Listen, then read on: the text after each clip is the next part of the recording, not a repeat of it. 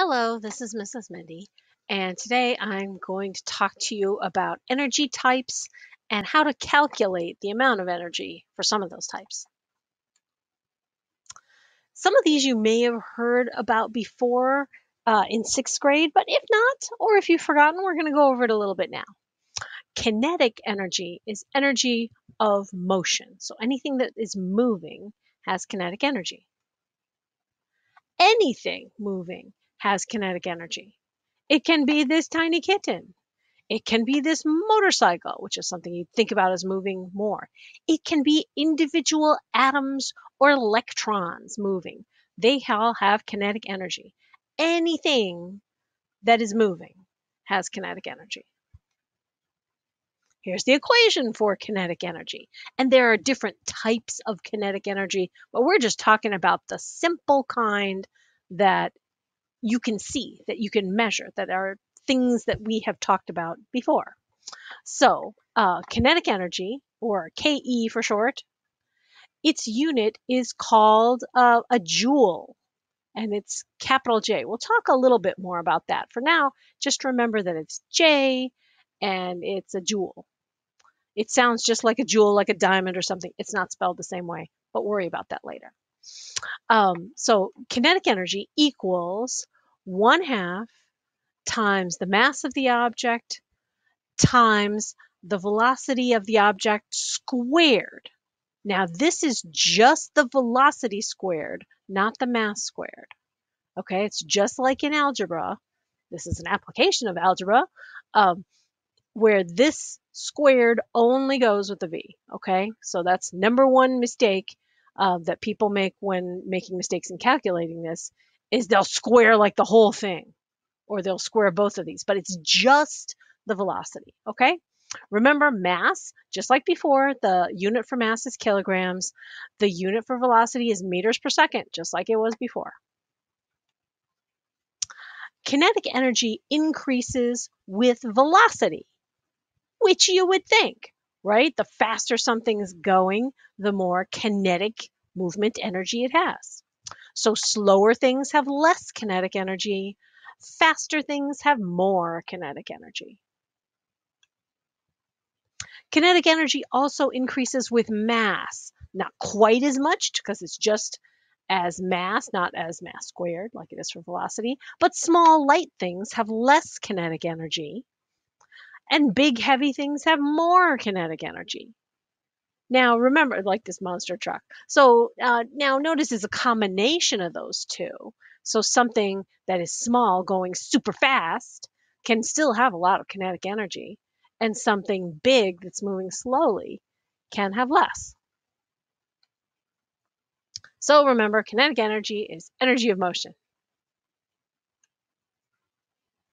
Okay, here's the equation again in case you see it. So energy in joules mass in kilograms, and then velocity meters per second squared. So now practice calculating this, okay? So we'll just run through this, this example. So if this cheetah has a mass of 50 kilograms, and it has currently, uh, chasing after this, whatever this is on the string, uh, its velocity is 30 meters per second. Okay, and these are approximately true. I looked this up because I hate when stuff is messed up. Okay, so if here's your equation, remember anytime you're using an equation, every time, every time, every time, every time, write down the equation first. I swear it will keep you having good grades your entire school life uh, with math if you do this. Okay? So energy, this is kinetic energy here. Energy equals 1 half times m times v squared. Okay, so let's plug and chug. All right, so 1 half, here's the 1 half, same as 0.5, but your calculator likes this better. 50 kilograms, that's the mass of the cheetah, times 30 meters per second, that's how fast it's going, squared. Okay, you got to square this part first. Remember your order of operations. The squared uh, is before almost everything, except parentheses. Okay, so 30 times 30 is 900. 0.5 or half of 50 is 25. So this times this is this. 30 squared is this. You multiply these together and you get this. Okay? Easy peasy lemon squeezy. Potential energy. That's the other big one we're going to talk about. Um, now, any kind of potential energy is an energy of position or shape. So you can see this young lady has some energy because uh, she's uh, bungee jumping. She's about to put some energy into this bungee, uh, and it's her her potential energy from being high up uh, over the ground. Energy from gravity, so like pulling something out away against gravity, is gravitational potential energy because that it's just like riding if you've ever ridden in one of these pirate ship thingies uh, at some uh, amusement park as you go up you get more gravitational potential energy. It's kind of stored in your position because there's a lot of energy that will happen as the earth and you pull each other closer together you're actually pulling on the earth too. You're moving the earth a teeny weensy bit. Uh, you just have so much smaller mass, you notice it more for you. Anything up high has gravitational potential energy. Anything at all has gravitational potential energy if it's lifted up. Anything falling has gravitational potential energy. It's, it's busy converting that gravitational potential energy into kinetic energy of, of speed for falling. Anything high up has gravitational potential energy, even if it's not falling, like these uh, these circus people, balancing, balancing, balancing. Okay, there's also an equation for gravitational potential energy. There are all kinds of energy we're going to talk about a couple of them, but I'm only going to make you calculate two kinds. Okay? Uh, kinetic energy, which I showed you before, and gravitational potential energy, sometimes just called potential energy. So here's the energy. It's still in joules, this J, and uh, except now it's mass times G, so mass in kilograms, G, which you might remember is the acceleration due to the gravitational field of the Earth. And that's 9.8 meters per second squared times height. How high you up, how high up away from the Earth you are. Uh, and that's in meters, just like any length or height. Okay? So mass, mgh, mass times g times height. That's gravitational potential energy. Now, if a problem ever says just potential energy, it almost always means gravitational potential energy. So beware. Just know that that's what it is. Uh, but there are other potential energies too. A major thing about energy and why we care about it at all is because it is never created and it is never destroyed. Okay, to be fair, it was created like once once at the beginning of the universe. Okay? But all the rest since then, since the tiniest fraction of time after the creation of the universe, the energy is never created or never destroyed. Okay? It's always there. It just moves around. It changes form. We'll talk about that more later.